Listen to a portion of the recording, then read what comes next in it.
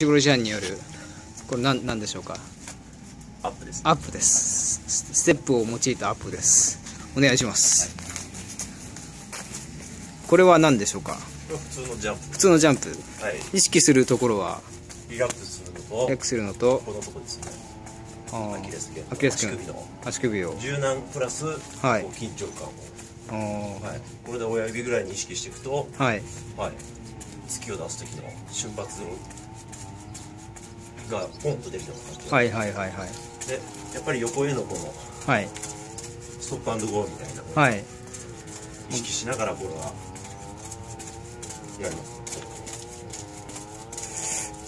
それいいその時に前後ろで、前後ろ。はい。はい、これも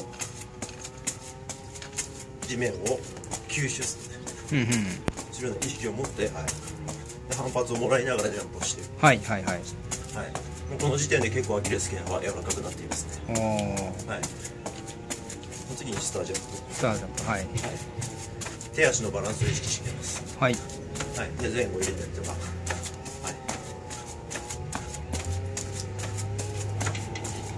い、次に突きを入れますね、はい。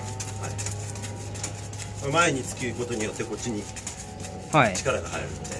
おであとはー後ろ足を遅らせないように。はいそれが終わったら後ろへの。後ろへの。後ろに止まる力を、はい。はい。はい。意識しています。これも前足が後ろ足に遅れていかないように、はい。はい、意識して、はい、連動突きと足の。はい。手と足の連動を意識してます。うんうんうん。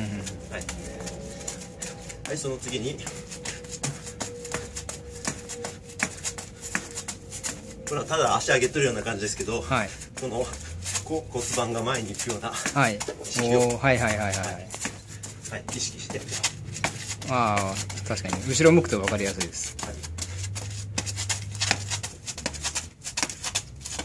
こんな感じですね。あこれを3分ぐらいで、あ3分ぐらいで。はい、やると結構ここら辺がもうはい。初めての人はパンパンになると思います。けど柔軟にもなるし、はい。はい、怪我予防にもなると思います、はい。ありがとうございました。